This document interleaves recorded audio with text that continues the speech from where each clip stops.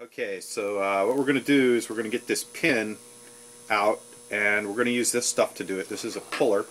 It's a little bit different than we've done it before, but this thing is typically jammed in here, up into here with uh, dried salt and grease and everything else. So um, what I've got is a little puller, and I'm use these uh, parts here. So we've got a block with a hole in it.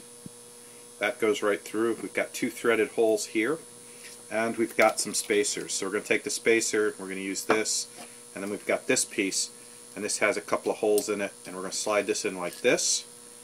We're going to take the spacer, we're going to put the spacer in here, like that, and then we're going to wind it together. And we'll use smaller spacers to start. So we'll start with this one. We'll put this right in here, like this. We'll wind this into the uh, into the drive leg. You can see that going in.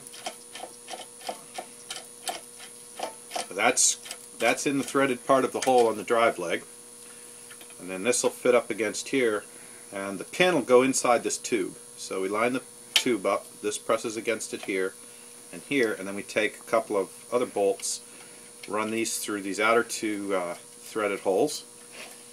And uh, once they're in place we will be able to compress the uh, the two blocks apart they'll press apart and as they press apart they'll lift this bolt which will pull that uh, pin right up into the uh, open space.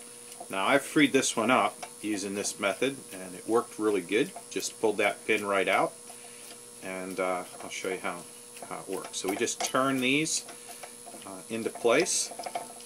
Once they're in place they, they'll um, they'll just tighten up like this and as they tighten up they press and they pull and as they pull they extract the pin, the large pin inside and we'll wind it out as far as it'll go here and then we'll take the center one off and see what it looks like.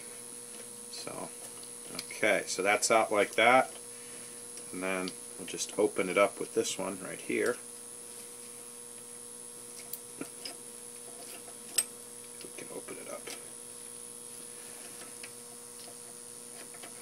This comes out like this.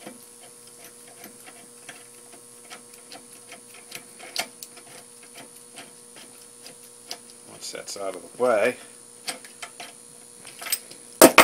you can see the pin is pulled up.